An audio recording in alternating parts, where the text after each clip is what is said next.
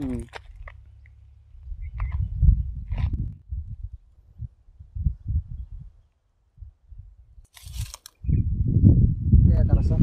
ನೋಡಿ ಈಗ ಪ್ರೆಸೆಂಟು ಲಾಭ ನಷ್ಟ ಅನ್ನೋದಕ್ಕಿಂತ ಒಂದು ಜೀವನನ ಒಂದು ಕುಟುಂಬ ಜೀವನ ಮಾಡೋಷ್ಟು ತೊಂದರೆ ಇಲ್ದಂಗೆ ಮಾಡ್ಕೋಬೋದು. ಆದಾಯ ಖರ್ಚು ಅನ್ನೋದು ಸೆಕೆಂಡ್ರಿ ಈಗ ಒಂದು ಗಿಡ ತ್ರೀ ಸಿಕ್ಸ್ಟಿ ಫೈವ್ ಡೇಸ್ ಹೂವು ಸಿಗುತ್ತೆ. ಇದು ಕೆ ಜಿ ಬಂದ್ಬಿಟ್ಟು ಈಗ ಪ್ರೆಸೆಂಟ್ ರೇಟು ಪ್ರೆಸೆಂಟ್ ರೇಟ್ ಬಂದ್ಬಿಟ್ಟು ಇವಾಗ ಏಳ್ನೂರು ರೂಪಾಯಿ ಎಂಟುನೂರು ರೂಪಾಯಿ ಇದೆ. ಈಗ ಸೀಸನ್ ಬಂದ್ರೆ ಎರಡೂವರೆ ಸಾವಿರ ಮೂರು ಸಾವಿರ ಮೂರುವರೆ ಸಾವಿರ ಗಂಟೆ. ಸರ್ ಇದು ವಾಟರ್ ಪಲ್ ಅಂತ ವಾಟರ್ ಪಲ್ಲು ಈಗ ನಟ್ಟಿ ಇದನ್ನ ಎರಡೂವರೆ ವರ್ಷ ಆಗಿದೆ. ಎರಡೂವರೆ ವರ್ಷದಿಂದ ಒಂದು ಸ್ಟಾರ್ಟಿಂಗಲ್ಲಿ ಒಂದು ಐದು ಕೆಜಿ ಸಿಕ್ಕಿತ್ತು. ಈಗ ಪ್ರೆಸೆಂಟ್ ಒಂದು ಹದಿನೈದು ಕೆ ಜಿರಿಂದ ಇಪ್ಪತ್ತು ಕೆಜಿ ಗಂಟೆ ಪ್ರೆಸೆಂಟ್ ಸಿಗ್ತಾ ಇದೆ. ಸರ್ ನಾನು ಬಂದ್ಬಿಟ್ಟು ಬೆಂಗಳೂರಿನಲ್ಲಿ forty five thousand rupees salary ತಗೊಂತಿದ್ದೆ. Life ತುಂಬಾ ಚೆನ್ನಾಗಿ ಲೀಡ್ ಆಗ್ತಿತ್ತು. ಬಟ್ ನೆಮ್ಮದಿ ಇರಲಿಲ್ಲ. ಆ ಟ್ರಾಫಿಕ್ ಜಂಜಾಟ ಮಾರ್ನಿಂಗ್ ಸೆವೆನ್ ಓ ಕ್ಲಾಕ್ ಹೋಯ್ತು ಬಿಟ್ಟರೆ ಮನೇಲಿ ಬಿಟ್ಟರೆ ಮಾರ್ನಿಂಗು ಮೀಟಿಂಗು ಇನ್ನು ಟ್ರಾಫಿಕ್ ಒದ್ದಾಟಗಳು ಅವೆಲ್ಲ ನೋಡಿ ಬೇಜಾರಾಗಿತ್ತು. ಹಳ್ಳಿ ಲೈಫಲ್ಲಿ ನಂಗೆ ಹಳ್ಳಿ ಲೈಫೇ ತುಂಬ ಇಷ್ಟ ಸರ್. ಸರ್ ನಮಸ್ತೆ. ನಮಸ್ತೆ. ಫಸ್ಟ್ ನಮ್ಮ ವೀಕ್ಷಕರಿಗೆ ನಿಮ್ದೊಂದು ಕಿರು ಪರಿಚಯ ಮಾಡ್ಕೊಡಿ. ನಮ್ಮ ಹೆಸರು ನಾಗರಾಜ್ ಅನ್ಬಿಟ್ಟು ನಾಗಮಂಗಲ ತಾಲೂಕು ಮಂಡ್ಯ ಡಿಸ್ಟಿಕ್ ಬುರುಡುಗುಂಟೆ ಗ್ರಾಮ. ನಾವು ಬಂದ್ಬಿಟ್ಟು ಒಂದು ಒಂದು ಮೂವತ್ತು ಕುಂಟೆಲಿ ಸುಗಂಧರಾಜ ಹೂ ಬೆಳೆದಿದ್ದೀವಿ. ಇಪ್ಪತ್ತು ಕುಂಟೆಲಿ ಪನ್ನೀರ್ ಪತ್ರೆ ಬೆಳೆದಿದ್ದೀವಿ. ಹತ್ತು ಕುಂಟೆಲಿ ಮಲ್ಲಿಗೆ ಬೆಳೆದಿದ್ದೀವಿ. ಇಂಟರ್ ಕ್ರಾಫ್ಟ್ ಆಗಿ ಇಂಟರ್ ಕ್ರಾಫ್ಟು ಸುಗಂಧ ಮತ್ತು ಪನ್ನೀರ್ ಪತ್ರೆ ಮಲ್ಲಿಗೆ ಮೂರನೇ ಇಂಟರ್ ಕ್ರಾಫ್ಟ್ ಆಗಿ ಇಪ್ಪತ್ತು ಕುಂಟೆ ವ್ಯವಸಾಯ ಮಾಡಿದ್ವಿ. ಬೇರೆ ಗಿಡಗಳು? ಬೇರೆ ಗಿಡಗಳು ಅಂದರೆ ಹಣ್ಣಿನ ಗಿಡಗಳು ಮಾವು ತೆಂಗು ಹಣ್ಣಿನ ಗಿಡಗಳು ಅಂದರೆ ಇದು ವಾಟರ್ ಆಪಲ್ಲು ಆಮೇಲೆ ಜ್ಯೂಸ್ ಹಣ್ಣಿನ ಗಿಡ ನುಗ್ಗೆ ಅರಳು ಕಾಕ್ಟ ಇನ್ನು ಇಂಟರ್ಕ್ರಾಫ್ಟ್ ಆಗಿ ಒಂದು ಹತ್ತಾರು ಥರ ಹಣ್ಣು ಗಿಡಗಳು ನಡ್ಕೊಂಡಿದ್ದೀನಿ ನೀವು ಅಗ್ರಿಕಲ್ಚರ್ ಎಷ್ಟು ವರ್ಷದಿಂದ ಸರ್? ನಾನು ಬಂದ್ಬಿಟ್ಟು ಪ್ರೊಫೆಷನಲ್ ಆಗಿ ಎಲೆಕ್ಟ್ರಿಕಲ್ ಇಂಜಿನಿಯರ್ ಆಗಿದ್ದೆ ಬೆಂಗಳೂರಿನಲ್ಲಿ. ಅದನ್ನ ಬಿಟ್ಬಿಟ್ಟು ಇವಾಗ ತ್ರೀ ಇಯರ್ ಆಯ್ತು ನಾವು ಅಗ್ರಿಕಲ್ಚರ್ ಸ್ಟಾರ್ಟ್ ಮಾಡಿ. ಯಾಕೆ ಅಗ್ರಿಕಲ್ಚರ್ಗೆ ಬಂದ್ರಿ ನೀವು? ಇವಾಗ ಯಾಕೆ ಅಂದರೆ ಬೆಂಗಳೂರು ಜೀವನ ಸಾಕಾಗಿ ಈಗ ಹಳ್ಳಿಗೆ ಬಂದು ಪ್ರೆಸೆಂಟ್ ಇವಾಗ ಸ್ಟಾರ್ಟ್ ಮಾಡಿದೀವಿ. ಈಗ ಇದು ಸುಗಂಧರಾಜ ಹೂವನ ಸರ್ ಇದು? ಹ್ಞೂ ಸುಗಂಧರಾಜ ಹೂವು ಇದು. ನಮ್ಗೆ ವೀಕ್ಷಕರಿಗೆ ಈ ಸುಗಂಧರಾಜ ಹೂವದ ಬಗ್ಗೆ ಪೂರ್ಣ ಮಾಹಿತಿ ತಿಳಿಸ್ಕೊಡ್ಬೇಕು ಖಂಡಿತ. ನಮ್ ಈಗ ಇದೇನು ಸ್ಟಾರ್ಟಿಂಗ್ ಅಲ್ಲಿ ಈಗ ತ್ರೀ ಟೈಮ್ಸ್ ಹೊಲನ ಉಳುಮೆ ಮಾಡ್ಕೋಬೇಕು. ತ್ರೀ ಟೈಮ್ಸ್ ಅಂತಂದ್ರೆ ಭೂಮಿ ಚೆನ್ನಾಗಿ ಕಾಯಿಸಿರ್ಬೇಕು. ಆಮೇಲೆ ಕೋಳಿ ಗೊಬ್ಬರ ತಿಪ್ಪೆ ಗೊಬ್ಬರ ಮತ್ತು ಈ ಹಟ್ಟಿ ಗೊಬ್ಬರಗಳು ಏನೇನಿದೆ ಮತ್ತು ಟ್ರೈಕೋಡರ್ಮ ಸುಡೋಮೋನಸ್ ಎಲ್ಲನ ಹಟ್ಟಿ ಗೊಬ್ಬರದೊಳಗೆ ಮಿಕ್ಸ್ ಮಾಡಿಕೊಂಡು ಚೆನ್ನಾಗಿ ಅದನ್ನು ಎಲ್ಲನ ಇದು ಮಾಡ್ಕೋಬೇಕು. ಮಿಕ್ಸ್ ಮಾಡಿಕೊಂಡು ಎರ್ಚ್ಬೇಕು. ಎರ್ಚ್ಬಿಟ್ಟು ದೊಡ್ಡನೇಗ್ಲಲ್ಲಿ ಉಳಿಸ್ಬಿಟ್ಟು ಕರೆಕ್ಟಾಗಿ ಟೂ ಟೈಮ್ಸ್ ಆದಮೇಲೆ ಅದನ್ನು ಇದು ಮಾಡ್ಕೋಬೇಕು. ಒಣಗಿಸ್ಬೇಕು ಭೂಮಿನ. ಚೆನ್ನಾಗಿ ಒಣಗಿಸ್ಬಿಟ್ಟು ಸಾಲಿಂದ ಸಾಲಿಗೆ ಎರಡು ಅಡಿ ಎರಡು ಎರಡರಿಂದ ಎರಡೂವರೆ ಅಡಿ ಗ್ಯಾಪ್ ಬರೋ ಥರ ಉಳುಮೆ ಮಾಡ್ಕೋಬೇಕು. ಗಿಡದಿಂದ ಗಿಡಕ್ಕೆ ಒಂದಡಿ ಗ್ಯಾಪು. ನಡ್ಬೇಕಾದಾಗ ಎರಡೂವರೆ ಅಡಿ ಗ್ಯಾಪ್ ಇರಬೇಕು. ಎರಡು ಇದು ಸಾಲಿಂದ ಸಾಲಿಗೆ ಎರಡೂವರೆ ಅಡಿ ಗ್ಯಾಪು. ಈ ಗಿಡದಿಂದ ಗಿಡಕ್ಕೆ ಒಂದಡಿ ಗ್ಯಾಪು. ಈ ಒಂದಡಿ ಗ್ಯಾಪ್ ಕೊಟ್ಬಿಟ್ಟು ಇವಾಗ ಇದನ್ನ ನಟ್ಟಿದ ಹದಿನೈದು ದಿವಸಕ್ಕೆ ಮೊಳಕೆ ಸ್ಟಾರ್ಟ್ ಆಗುತ್ತೆ. ಗಿಡನೋ? ಇಲ್ಲ ಇದೆ ಇದು ಬಂದ್ಬಿಟ್ಟು ಗೆಡ್ಡೆ. ಗೆಡ್ಡೆ ಬಂದ್ಬಿಟ್ಟು ಈ ತರ ಗೆಡ್ಡೆ ಬರುತ್ತೆ. ಈ ತರ ಗೆಡ್ಡೆ ಬರುತ್ತೆ ಇದು. ಇದನ್ನ ಗೆಡ್ಡೆನ ಇದು ತ್ರೀ ಇಯರ್ಸ್ ತ್ರೀ ಇಯರ್ ಗೆಡ್ಡೆ ಇದು. ಈ ಸೈಜಲ್ಲಿ ಬರುತ್ತೆ. ಒಂದೂವರೆ ಕೆಜಿ ಎರಡು ಕೆಜಿ ಮೂರು ಕೆಜಿ ಗೆಡ್ಡೆ ಬರುತ್ತೆ. ಇದನ್ನ ಈ ತರ ಇದು ಮಾಡ್ಕೊಂಡು ಡಿವೈಡ್ ಮಾಡ್ಕೊಂಡು ಈರುಳ್ಳಿ ಮಾಡ್ತಾರಲ್ಲ? ಇಲ್ಲ ಇಲ್ಲ ಇದು ಈರುಳ್ಳಿ ಅಲ್ಲ. ಇದು ಬರುತ್ತೆ ನೋಡಿ ಡೈರಿಯ ಗೆಡ್ಡೆ ಬರುತ್ತೆ ನೋಡಿ. ಸೇಮ್ ಡೈರಿಯ ಗೆಡ್ಡೆನು ಇದು ಒಂದೇ ತರ. ಇದನ್ನ ಈ ತರ ಡಿವೈಡ್ ಮಾಡ್ಕೊಂಡು ಸಪ್ರೇಟು ಇದನ್ನ ಗಿಡದಿಂದ ಗಿಡಕ್ಕೆ ಒಂದಡಿಗೆ ಒಂದಡಿಗೆ ನಡಬೇಕಿದ್ನ ಸಾಲಿಂದ ಸಾಲಿಗೆ ಎರಡೂವರೆ ಅಡಿಗೆ ನಡಬೇಕು. ನಟ್ಟಿದ ಹದಿನೈದು ದಿವಸಕ್ಕೆ ಮೊಳಕೆ ಬರುತ್ತೆ. ನಟ್ಟಿದ ಹದಿನೈದು ದಿವಸಕ್ಕೆ ಮೊಳಕೆ ಬಂದಾಗ ಪಕ್ಕಕ್ಕೆ ಒಂದು ಗೊಬ್ಬರ ಹಾಕ್ಬಿಟ್ಟು ಅದನ್ನ ಮುರಿ ಮುರಿ ಒತ್ತರಿಸ್ಬೇಕು ಮುರಿ ಒತ್ತರಿಸಿ ಕರೆಕ್ಟಾಗಿ ಒಂದು ಒಂದೂವರೆ ತಿಂಗಳಿಂದ ಒಂದೊಂದು ಮಾತೆ ಒಂದು ಸೆಂಟ್ರಲ್ಲಿ ಒಂದೊಂದು ಒಂದೊಂದು ಮಾತೆ ಬರುತ್ತೆ. ಕರೆಕ್ಟಾಗಿ ತ್ರೀ ಮಂತ್ಸ್ಗೆ ಕಂಟಿನ್ಯೂಸ್ ಆಗಿ ಒಂದು ಒಂದು ಎಕರೆ ಹಾಕೋದು ಮಿನಿಮಮ್ ಐದರಿಂದ ಎರಡು ಕೆ ಜಿ ಮೂರು ಕೆ ಜಿ ಐದು ಕೆ ಜಿಯಿಂದ ಸ್ಟಾರ್ಟ್ ಆಗುತ್ತೆ. ಐದು ಕೆ ಜಿಯಿಂದ ಸ್ಟಾರ್ಟ್ ಆಗಿ ಕರೆಕ್ಟಾಗಿ ಮೂರು ಮೂರು ತಿಂಗಳು ಕಂಪ್ಲೀಟ್ ಆಗೋಷ್ಟರೊಳಗೆ ಒಂದು ರೈಸ್ ಸ್ಟಾರ್ಟ್ ಆಗಿದ್ದು ಮೂರು ವರ್ಷದ ಗಂಟೆ ಕಂಟಿನ್ಯೂಸ್ ಆಗಿ ಸತತವಾಗಿ ಕುಯ್ತಾ ಇರ್ಬೋದು. ಬಟ್ ಏನು ಅಂತಂದರೆ ಆವಾಗವಾಗ ರೋಗ ಅಟ್ಯಾಕ್ ಆಗುತ್ತೆ ಇದಕ್ಕೆ. ಅಂದರೆ ಗೆಡ್ಡೆ ರೋಗ ಮತ್ತೆ ತರಗು ರೋಗ ಬರುತ್ತೆ. ತರಗು ರೋಗ ಬಂದಾಗ ಸ್ಕೋರ್ ಹೊಡ್ಕೋಬೇಕು. ಗೆಡ್ಡೆ ರೋಗ ಬಂದಾಗ ಟ್ರೈಕೋಡರ್ಮಸ್ ಬಿಡೋಮೋನಸ್ನ ಇದ್ಕೊ ಗಿಡದ ಮಗ್ಲಿಗೆ ಹಾಕ್ಬಿಟ್ಟು ಅದನ್ನ ಮುರಿ ಒತ್ತರಿಸ್ಬೇಕು ಮತ್ತೆ ಬೆನಿವಿಯನ ಬೆನಿವಿಯಾ ಅವು ಕುಡಿ ಬರೋದಕ್ಕೆ ಹೊಸ ಕುಡಿ ಬರೋದಕ್ಕೆ ಬೆನಿವಿಯ ಕೊಡಬೇಕು. ಇದಕ್ಕೆ ಆದಂಥ ಕೆಲವೊಂದು ಔಷಧಿಗಳಿದಾವೆ ಅವನ್ನೆಲ್ಲನ ಇದು ಕೊಟ್ಟಾಗ ಗೆಡ್ಡೆಗೆ ಇದು ಕೊಟ್ಟಾಗ ಅದು ಏನಾಗುತ್ತೆ? ಗೆಡ್ಡೆ ಕೊಳೆ ರೋಗ ಎಲ್ಲ ನಿವಾರಣೆ ಬರುತ್ತೆ. ವೈ ಇದರಲ್ಲಿ ವೈಟ್ ಫಂಗಸ್ ಬರುತ್ತೆ. ಬಿಳಿ ಬಗ್ ಅಂತಾರೆ ಅದಕ್ಕೆ. ಬಿಳಿ ಬಗ್ಗೆ ಅದಕ್ಕೂ ಬೀಜೋಪಚಾರ ಮಾಡಿ ನಟ್ಟಿದ್ರೆ ಕಂಟ್ರೋಲ್ ಆಗಿರುತ್ತೆ. ಇಲ್ಲ ಬೀಜೋಪಚಾರ ಮಾಡಲಿಲ್ಲ ಅಂತಂದ್ರೆ ಅದಕ್ಕೂ ತಿರ್ಗಾ ರೋಗ ಬರುತ್ತೆ. ಆಮೇಲೆ ತರಗು ರೋಗ ಬರುತ್ತೆ. ಆಮೇಲೆ ಅದು ಹತ್ತಾರು ರೋಗ ಬರ್ತವೆ. ತಿಂಗ್ಳಿಗೆ ಒಂದ್ಸ ಒಂದ್ಸಲಿ ಎರಡು ಸಲ ಇದಕ್ಕೆ ಸ್ಪ್ರೇ ಮಾಡ್ತಾ ಇರಬೇಕು. ಅಂದ್ರೆ ನೀವು ಈಗ ರೋಗ ಬಂದಾಗ ಯಾವ ತರ ಮೆಡಿಸಿನ್ ಮಾಡ್ತಾ ಇದೀರಾ ಈಗ ನಾವು ಒಂದು ತಿಂಗ್ಳಿಗೆ ಒಂದ್ಸಲಿ ಎರಡು ಸಲ ನಾವು ಔಷಧಿ ಸ್ಪ್ರೇ ಮಾಡ್ತಾ ಇರ್ತೀವಿ. ಈಗ ಉಳುಕೆ ಬರ್ಲಿ ಹೊಡಿತ ಸ್ಪ್ರೇ ಮಾಡ್ತಾ ಇರ್ತೀವಿ. ಎಕ್ಸಾಂಪಲ್ ಇವಾಗ ಈ ಹೂವು ನೋಡಿ ಹೂವು ಹೂವು ಈ ಹೂವುಗಳನ್ನ ಹೂವು ತಿ ಹುಳ ತಿಂತ ಇರುತ್ತೆ. ಅದಕ್ಕೆ ಕರಟೆ ಸ್ಪ್ರೇ ಮಾಡ್ಕೊಂತೀವಿ. ಇವಾಗ ಏನಾರು ತರಗ ಏನಾರು ಸ್ವಲ್ಪ ರೋಗ ಕಾಣಿಸ್ತಿತ್ತು ಅಂದ್ರೆ ಸ್ಕೋರ್ ಮಾಡ್ಕೊಂತೀವಿ. ಆಮೇಲೆ ಏನಾರು ಇವಾಗ ಸ್ವಲ್ಪ ಗ್ರೋತ್ ಆಗಬೇಕು ಅಂತಂದ್ರೆ ಗ್ರೋತ್ ಹಾರ್ಮೋನ್ಗಳನ್ನ ತಂದ್ಬಿಟ್ಟು ಸ್ಪ್ರೇ ಕೊಡ್ತೀವಿ. ಅದೇ ಆದಂತಹ ಏನೇನ್ ರೋಗ ಬರುತ್ತೆ ಅದ್ರದ್ದಾದಂಥ ನಾವು ಔಷಧಿನ ಹೊಡ್ಕೊತಾ ಇರ್ತೀವಿ. ಹೊಡ್ಕೊತಾ ಇರ್ತೀವಿ. ನಿಮ್ಗೆ ಗೊತ್ತಾಗುತ್ತೋ ಔಷಧಿ ಇಲ್ಲ ಅಂದ್ರೆ ನೀವು ಯಾರನ್ನಾರು ಇಲ್ಲ ನಾವು ಈಗ ಇಲ್ಲ ತ್ರೀ ಸಿಕ್ಸ್ಟಿ ಫೈವ್ ಡೇಸ್ ಈಗ ನಾವು ಈ ಗಿಡದಲ್ಲಿ ಓಡಾಡ್ತಿರೋದ್ರಿಂದ ನಮ್ಗೆ ಏನ್ ರೋಗ ಇದೆ ಅಂತ ಕಂಡಾಗ ನಾವು ಅದನ್ನ ಒಂದು ಫೋಟೋ ಹೊಡ್ಕೊಂಡು ಹೋಗ್ಬಿಟ್ಟು ನಾವು ಅಗ್ರಿಕಲ್ಚರ್ ಇದು ಕೊಡ್ತೀವಿ ಶಾಪ್ ಕೊಡ್ತೀವಿ ಅಲ್ಲಿ. ಆ ತೋಟಗಾರಿಕೆ ಇಲಾಖೆ ಸಲಹೆ ಸಲಹೆ ಕೇಳ್ತೀವಿ. ಅಲ್ಲಿ ತೋಟಗಾರಿಕೆ ಇಲಾಖೆ ನಮಗೆ ಅವ್ರದೇ ಆದಂತ ಇದ್ರ ಪ್ರಕಾರ ನಮಗೆ ಮಾಹಿತಿ ಕೊಡ್ತಾರೆ. ಸರ್ ಇದು ಈಗ ಪ್ರೆಸೆಂಟ್ ನೀವು ಎಷ್ಟು ಕುಯ್ತಾ ಇದ್ದೀರಾ ದಿವಸಕ್ಕೆ? ಈಗ ಪ್ರೆಸೆಂಟ್ ಒಂದು ಹತ್ತರಿಂದ ಹದಿನೈದು ಕೆಜಿ ಗಂಟ ಕುಯ್ತಾ ಇದೀವಿ. ಅಂದ್ರೆ ಏನ್ ರೈಟ್ ಹೋಗ್ತಾ ಇದೆ? ಸರ್ ಅದು ಡಿಪೆಂಡ್ ಅಪನ್ ಇವಾಗ ನಾವು ಮಾರ್ಕೆಟ್ ರೇಟು ಹತ್ತು ರೂಪಾಯಿಂದ ಸ್ಟಾರ್ಟ್ ಆಗುತ್ತೆ. ನಾವು ಒಂದು ಫಿಕ್ಸೆಡ್ ರೇಟ್ ಮಾಡ್ಕೊಂಡಿದೀವಿ. ಒಂದು seventy two rupees seventy two eight rupees ಒಂದು ಫಿಕ್ಸೆಡ್ ರೇಟ್ ಮಾಡ್ಕೊಂಡಿದೀವಿ. ಆ ರೇಟ್ ಮುಖಾಂತರ ಕೊಡ್ತಾ ಇದೀವಿ. ನೀವು ಮಾರ್ಕೆಟ್ಗೆ ಹಾಕ್ತಾ ಇದ್ದೀರಾ? ಹೂವು ಕಟ್ಟ ಅಂತವ್ರಿಗೆ ಕೊಡ್ತಾ ಇದೀರೋ ಇಲ್ಲ ಇಲ್ಲ. ನಾವೇ ಆದಂಥ ಡೈರೆಕ್ಟ್ ಮಾರ್ಕೆಟ್ ಮಾರುಕಟ್ಟೆ ಇದೆ ನಮಗೆ.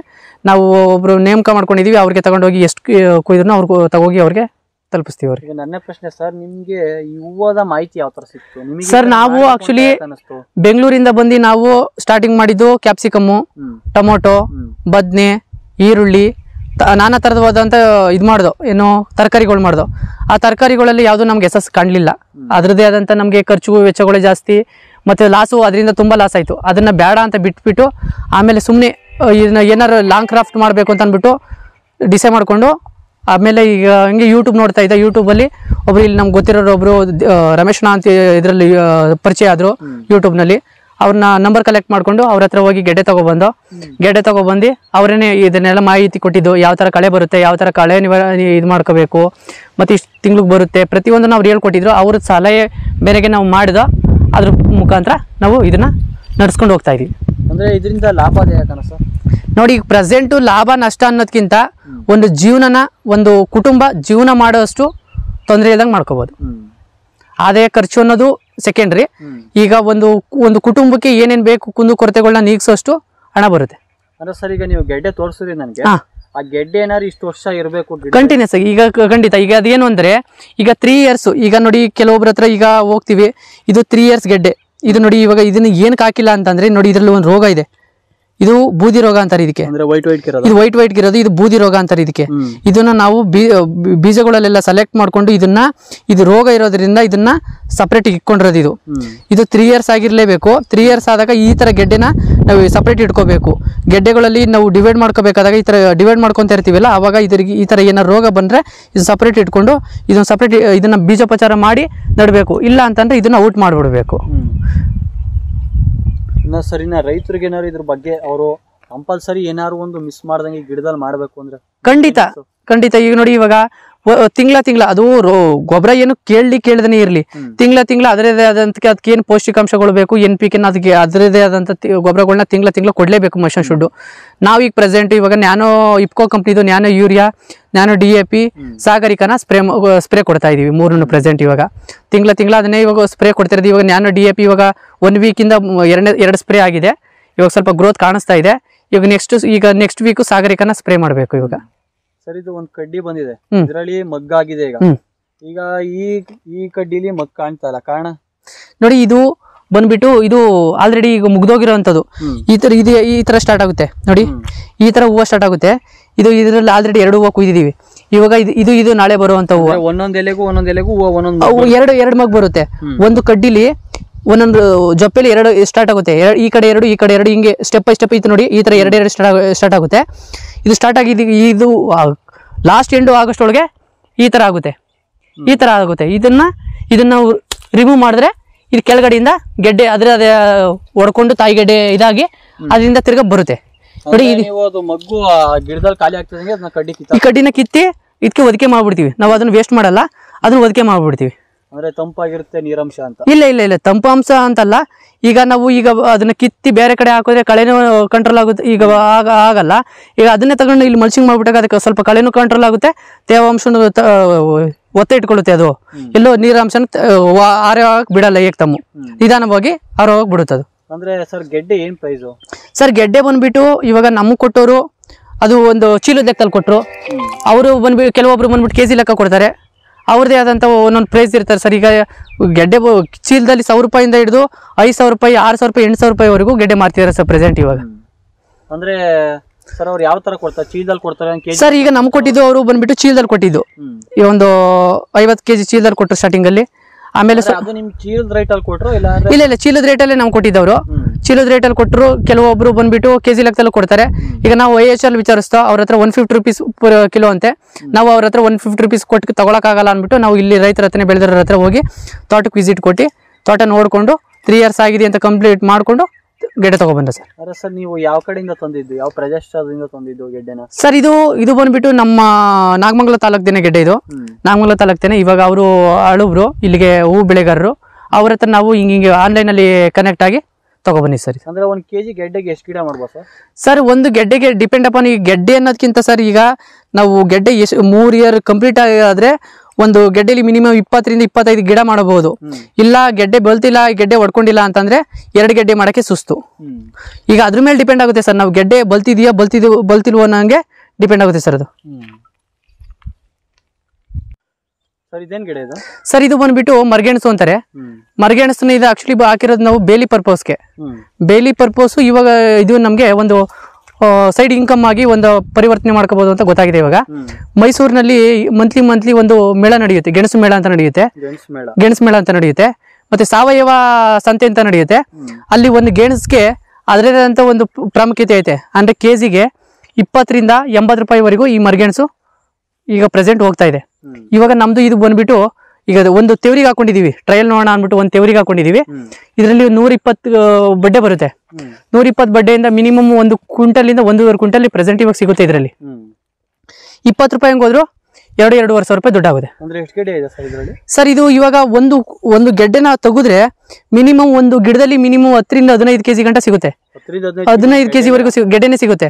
ಕಮ್ಮಿ ಅಂದ್ರೆ ಐದ್ರ ಐದ್ರ ಐದರಿಂದ ಮೇಲೆ ಸಿಗುತ್ತೆ ಹೊರತು ಐದರಿಂದ ಒಳಗಡೆ ಸಿಗಲ್ಲ. ಅಂದ್ರೆ ಇದು ಯಾವ್ದಾದ್ರು ತಳಿ ಅಂತ ಇದೆಯಾ? ಸರ್ ಇಲ್ಲ ಇಲ್ಲ. ನಮ್ಮ ಈಗ ಇದು ಬಂದ್ಬಿಟ್ಟು ಫ್ರೆಂಡ್ ಫ್ರೆಂಡ್ಶಿಪ್ ಅಲ್ಲಿ ಎಲ್ಲ ಊರಿಗೆ ಹೋದಾಗ ಅವರು ಯಾರೋ ನಮಗೆ ಒಂದು ಬೆಳೆದೀವಿ ತಗೊಳ್ಳಿ ಅಂತ ಅಂದ್ಬಿಟ್ಟು ಒಂದು ಕಡ್ಡಿ ಕೊಟ್ಟಿದ್ರು. ಅದನ್ನ ನಾವು ಮಲ್ಟಿಪ್ಲೈ ಮಾಡ್ಕೊಂಡು ಇವಾಗ ಪ್ರೆಸೆಂಟ್ ಒಂದು ದೇವರಿಗೆ ಹಾಕೊಂಡಿದೀವಿ. ಇದನ್ನ ಇವಾಗ ಅಲ್ಲಿಂದ ಇಲ್ಲಿವರೆಗೆ ಈಗ ಒಂದ್ ಎಕರೆ ಎರಡು ಎಕರೆಗೆ ಹಾಕುವಷ್ಟು ಕಡ್ಡಿ ಇದೆ ನಮ್ಮ ಹತ್ರ ಇವಾಗ. ಕಡ್ಡಿ ಇದೆ. ಅಂದ್ರೆ ಇದು ನೀವು ನೆಕ್ಸ್ಟ್ ಕಟ್ ಮಾಡ್ಬಿಟ್ಟು ನೀವೇ ನೆಡ್ತೀರಾ? ಹೌದು ಖಂಡಿತ. ಈಗ ನೋಡಿ ಗಿಡ ಎಷ್ಟು ತಿಂಗಳು ಬಲಿಬೇಕು sir three and half months ಅಂತ ಅವ್ರು ಹೇಳಿದ್ದಾರೆ. ನಾವು ಈಗ ಮನೆ ಹತ್ರ ಹಾಕ್ಬಿಟ್ಟು ಒಂದು ಫೈವ್ ಮಂತ್ಸ್ಗೆ ಒಂದ್ಸಲ ಹಾರ್ವೆಸ್ಟ್ ಮಾಡೋದು. ಒಂದೇ ಗಿಡದಲ್ಲಿ ಹದಿಮೂರು ಕೆಜಿ ಸಿಕ್ಕಿತ್ತು ಒಂದೇ ಕೆ ಒಂದು ಕೆ ಜಿಲಿ ಹದಿಮೂರು ಕೆಜಿ ಸಿಕ್ಕಿತ್ತು ಅದನ್ನ ಸ್ವಲ್ಪ ನಾವು ನಮಗೆ ಅದ್ರ ಬಗ್ಗೆ ಗೊತ್ತಿರಲಿಲ್ಲ. ಅದು ಅನ್ವಾಂಟೆಡ್ ವೇಸ್ಟ್ ಆಗೋಯ್ತು.